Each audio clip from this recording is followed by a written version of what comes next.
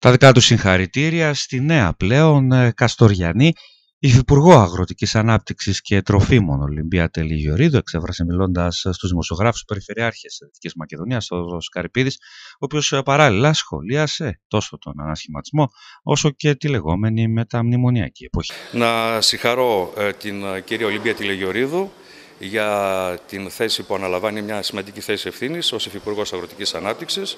Έχει άμεση αναφορά στην περιοχή μας γιατί είναι πολλά τα ζητήματα που έχουμε στον αγροτικό τομέα σε κρεμότητα και νομίζω ότι με τη γνώση και την παρουσία της θα βοηθηθεί η εξέλιξη του σχεδιασμού μας, αλλά πολύ περισσότερο εν συνόλο του σχεδιασμού ε, της ε, περιφέρειας και όλων των περιφερειών της ε, χώρας.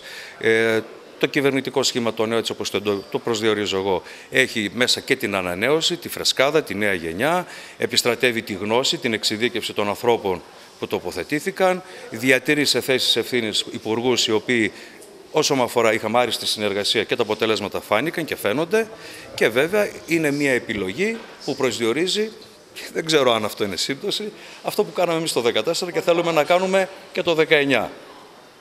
Θέσεις, απόψεις, σε στράτευση των δυνάμεων, στη λογική της μετριοπάθειας, με ανοίγματα από ό,τι δεν έκανε ο Πρωθυπουργός και στον χώρο της μετριοπαθούς κέντρο-δεξιά, αλλά και στον χώρο της κέντρο-αριστερά.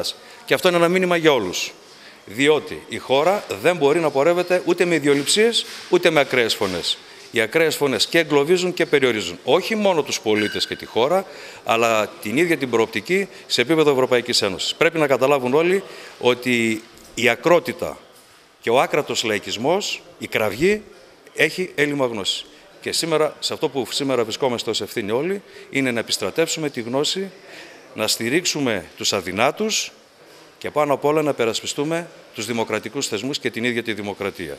Οι ακραίες απόψεις δεν βοηθούν και επειδή το τελευταίο διάστημα και με αφορμή το μακεδονικό είχαμε και ακραίες απόψεις, νομίζω ότι πρέπει να επιστρέψουμε στη σύνεση, στην ενότητα και τότε να είμαστε βέβαιοι ότι θα τα καταφέρουμε.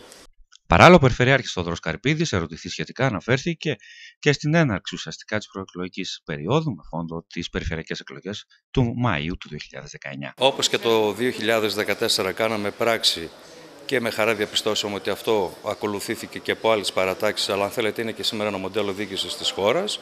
Εμείς θα ξανασυνεχίσουμε την προσπάθειά μας όπως ξεκινήσαμε το 2014, ένας ανεξάρτητος συνδυασμός με πολυσυλλεκτικότητα, αλλά βάζοντας κάποια ζητήματα ως προτάγματα και βάσει συμφωνίας. Το πρώτο ζήτημα είναι η μετριοπάθεια από όλες τις πλευρές. Έχω πει και σε πρόσφατη τοποθέτησή μου ότι εγώ δεν συνεργάζομαι με τα άκρα. Έτσι. Άρα λοιπόν μιλάμε για την μετριοπαθή κέντρο-δεξιά, την κοινωνική δεξιά στο κοινωνικό κέντρο, την κέντρο-αριστερά και βέβαια την αριστερά. Αυτό θα είναι ο συνδυασμός, όπως ήταν και το 2014, θα είναι και το 2019 και θα ζητήσουμε την ανανέωση της εντολής των πολιτών.